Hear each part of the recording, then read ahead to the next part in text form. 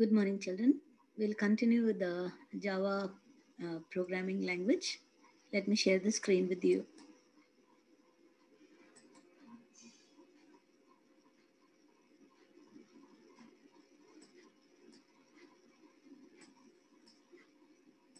Yes, yesterday I told you what's the meaning of object. I mean, in the previous class, I told you what is object oriented programming language, and I gave you an example of Manoj, the manager, and how he requires different objects to set up his computer lab. Now, what are the concepts of object oriented language? First thing is the object. So, we learned that uh, what is an object. So, what's uh, the object has two things they have state and behavior. What do you mean by state and behavior? Now, here, every object in OOPS they have different properties, right? Properties are nothing but variables. Now, suppose if I uh, give a value to a variable, variable, so I need to name the variable. And they also have behavior. Behavior is nothing but the method. Okay, you wouldn't understand if I even tell you this way. Now, let's take an example. There's an example. Let's take the example of a dog. Now, the dog has two things that is, the state and behavior. How do you differentiate what is the state and behavior for dog? What would be the state of the dog? Its color, its name, its breed. So you know that the dogs have different colors, white, black, and whatever, brown. And you name your dog with different names, okay? And the breeds also are different. You have Pomeranian, you have a Doberman, you have a Golden Retriever, Snuff dogs. These are the different breeds. This is the meaning of state. So state is the color, name, and breed. But the behavior of the dogs, all dogs would be the same. All dogs wag their tails, they bark, and they eat. This is the behavior of the dog. So I hope you understood what is state and what is behavior. You'll understand more why are we using the word state and behavior. So object is an instant of the class. So what's the class here? The class is dog. And what would be the different other things? Instance of dogs you would have different instance like different Doberman and there's different colors of dogs. So these would become the instance of the uh, dog, the state, and the and this is what is the meaning of instant. Now the next one is class. So as I told you, the main uh, that is the object, the main object is nothing there but the class. So class it is the blueprint of the other objects that are being created. It's under the uh, word dog, you could create many other types of objects. That is the different breeds of the dogs. So the blueprint would be, dog would be the, the blueprint and the blueprint is nothing but the class. So the class, it acts as a blueprint to create the other objects. A class is a set of objects that share state and behavior. So the uh, what is a class? It's an object and it has state and behavior. As I told you, the dog, it has state and it has behavior. And how do you define the class? Class is defined with different attributes. They are, the class defines various attributes. As I told you, here these are all the attributes of the dog. And this is all the behaviors of the dog. So attributes are nothing but the state and the behavior and it's instant. So it's not static. It's non-static. So everything cannot be the uh, same. They are different colors, names, breeds. So it's not static. The instant may not be static. Make use of the attributes. And this, uh, since the instant is not static, it makes use of the attributes and the um, behaviors. Now let's take another example. An example of a bird. When you see all birds have the same attributes such as everybody has names. You can have different names, colors, height, and shape. Okay, so they have the same type of behavior. What's the same type of behavior? That is flying. So everyone has colors, but the colors may differ, heights may differ, shape may differ, but the attributes would be the same. And the behavior, it's the same for everyone. They all fly. The birds all fly. So therefore, they can be grouped together as a class. The class would become birds.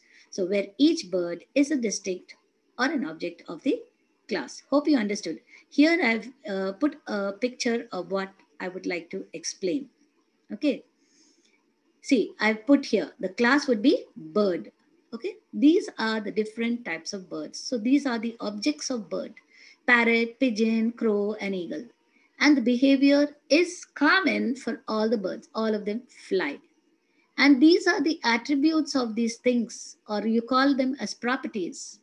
Parrot, name. So the name, it can be a parrot, or the bird can name can be a pigeon, or it can be a crow, or it can be. Colors are different. Parrot would be green, pigeon would be gray, crow is black, and the eagle. So, and their height and shapes all differ. These are the different properties of the different birds. Okay.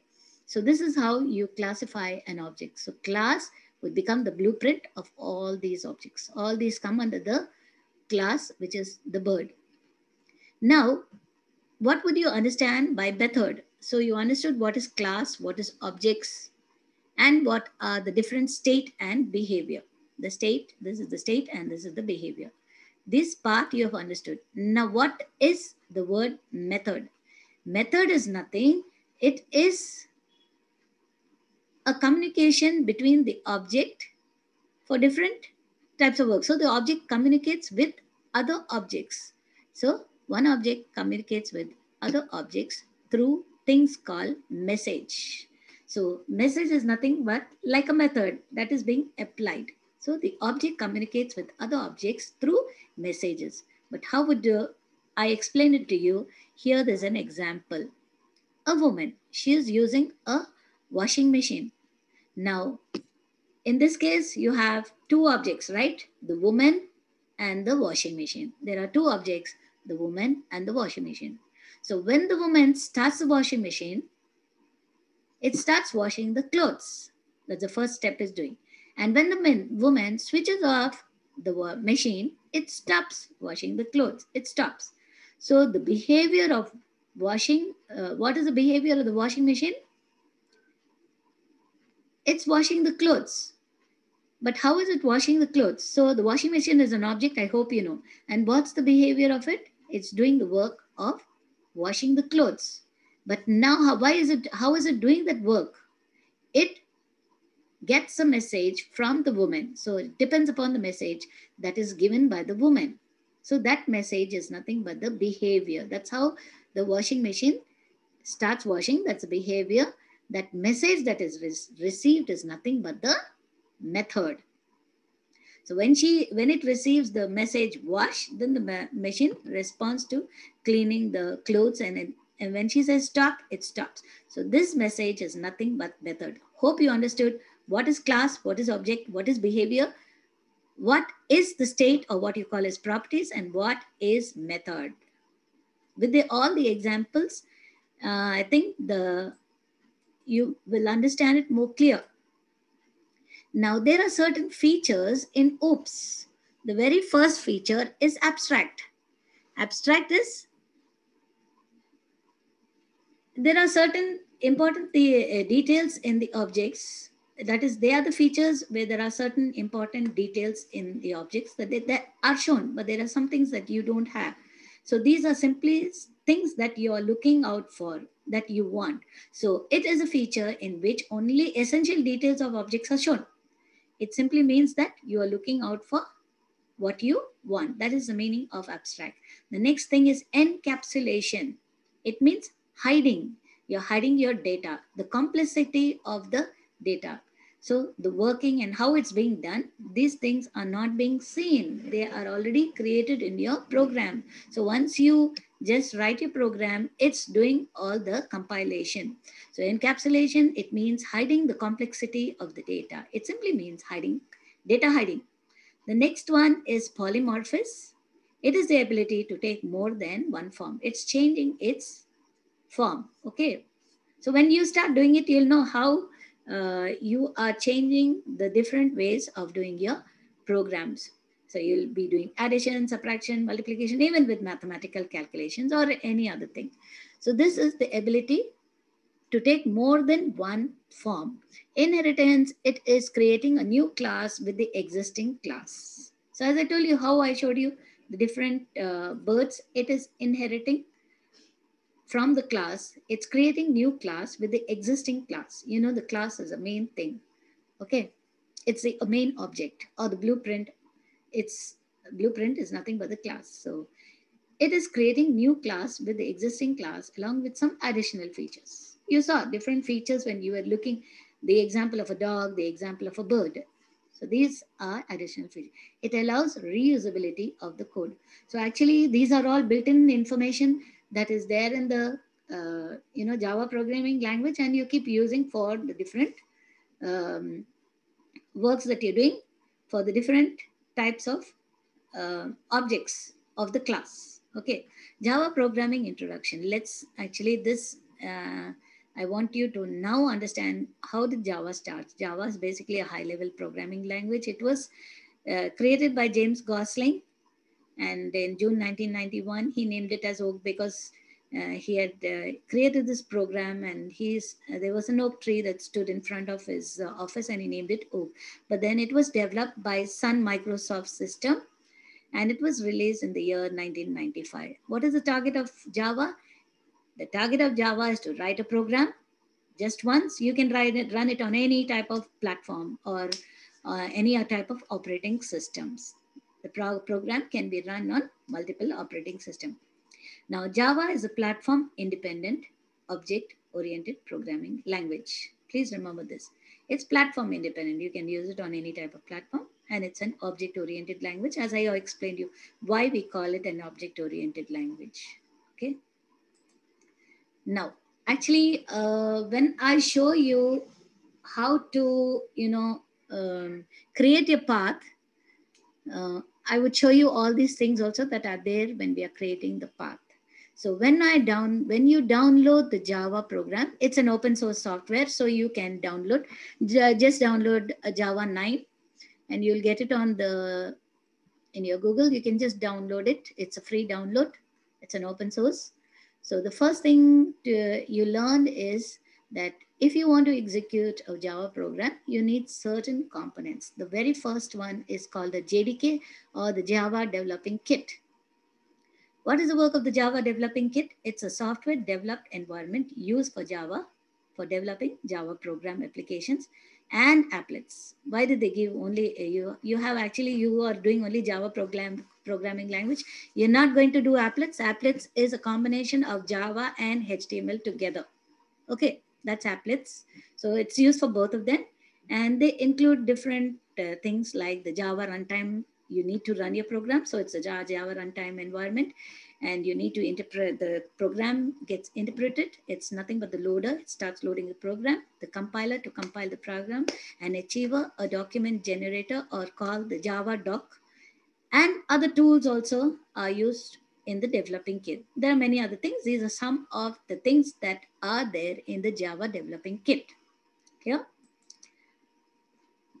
And then you have the Java runtime, which is also called a JRE. So when you load, load, download Java, you have all these things. JRE is the Java runtime environment.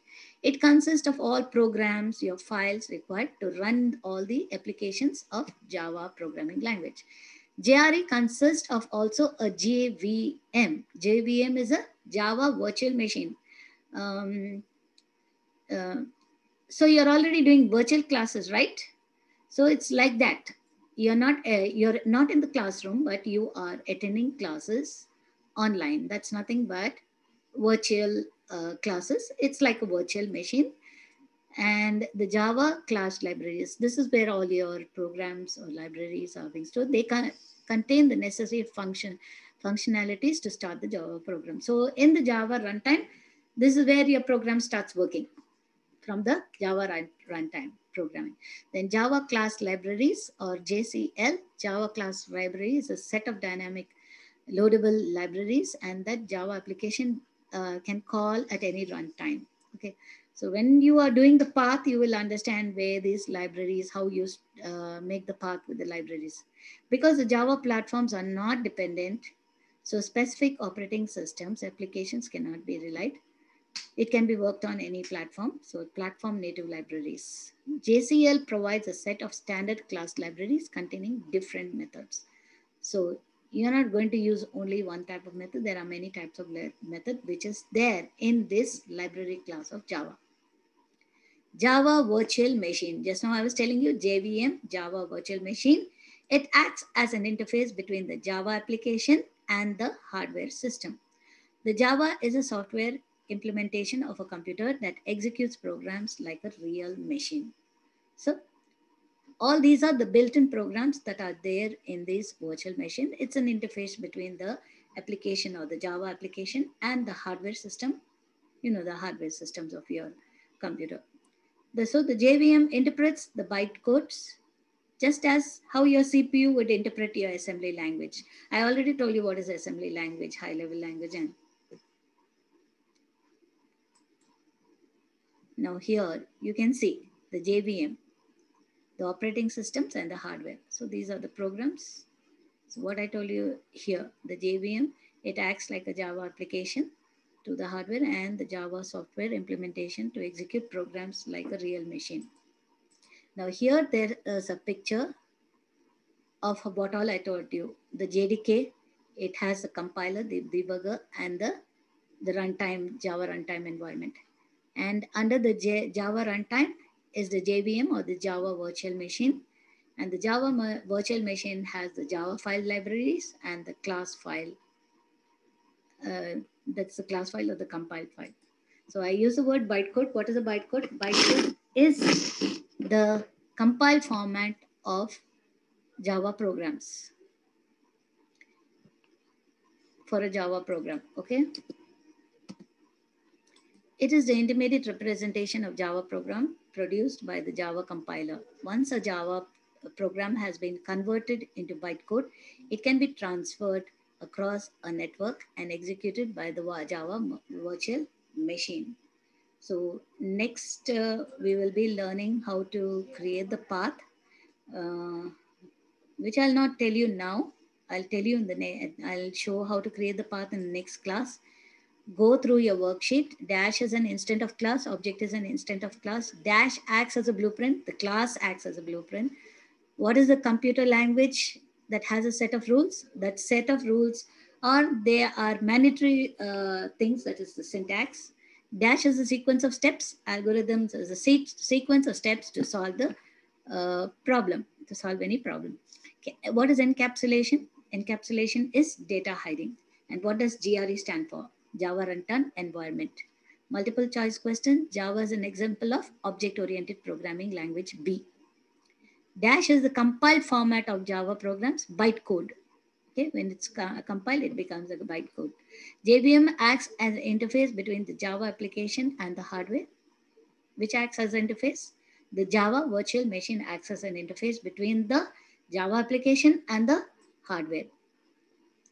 Creating new class with the existing class along with some additional are nothing but inheritance. You're inheriting the properties of that class. Like I told you, know, the bird, and then it's inheriting those. Now, Dash language resembles a natural language, not processed, but that's a high level language, which is Java is a high level language. C++, all these are high level language. State whether true or false. A set of instruction is called a program? Yes, true. Computer language has a set of rules called algorithm? No. Java is a procedure-oriented programming language. False, it's an object-oriented programming language. Polymorphous means creating a new class with an existing class. No. What did we learn polymorphous? Polymorphous is the ability to take more than one form. A computer can understand only zeros and ones. Yes, it understands only the binary format or the machine language, which is zeros and ones. And here's your lab activity. Please draw this in your uh, in your class workbook. Put the draw this picture. So complete the following with suitable behaviors and properties. So here it's a vehicle. Vehicle is a class, and what's a behavior and property? The it is start, stop, and speed. This is same for all the uh, things. And brand and all is the properties of it. different brands. Vehicles are of different brand, different models, different colors and gear. Depending on this only, these things are same. Okay, these behaviors are same. The behavior to start, stop, and uh, speed. But the properties are different. So depending upon these types of properties, you will choose your vehicle, right? A car, you do, it all depends upon the brand. Okay. And here, who am I? I am the process of providing only significant information for outside members and hiding the background details. I'm an abstract. I am the process of enclosing the data and method in the same place. That is enclosing or hiding the data is encapsulation. I am the process of creating a new class based on the existing class. You are inheriting the class. So that is inheritance. When my method displays different behaviors in different instances, I am called the polymorphosis because it's changing the form. Polymorphosis is nothing but changing. Draw this thing also in your classwork book. This is what your JDK consists of. It consists of the compiler, the debugger, and the JRE, Java runtime. Under the Java runtime, you will have these two. When you load Java, you'll see the JDK and the JRE. So when I am uh, showing you the path, I'll show you how these things work. Hope you understood the uh, class. And the next class, I'll be teaching you the how to create the path, and I'll be starting also the new chapter. Hope I can start the new chapter, but I need to uh, teach you how to create uh, the path. Thank you for now. Have a nice day. Go through the uh, lesson that I've taught you.